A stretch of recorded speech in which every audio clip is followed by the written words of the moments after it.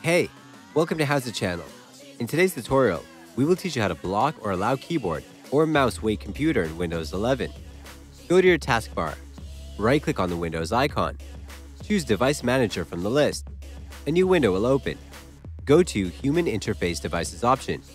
Double-click on USB input device. A new window will open.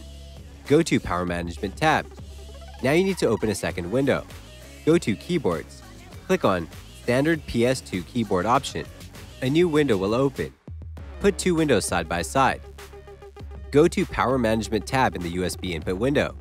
Uncheck Allow the computer to turn off this device to save power option to disable it. Check Allow the computer to turn off this device to save power option to enable it. Close the keyboard window. Go to Mice and other pointing devices. Click on VMware pointing device. Put two windows side by side. Go to Power Management tab in the USB input window. Uncheck Allow the computer to turn off this device to save power option to disable it.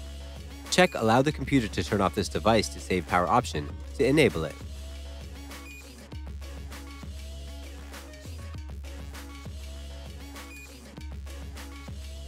That's it.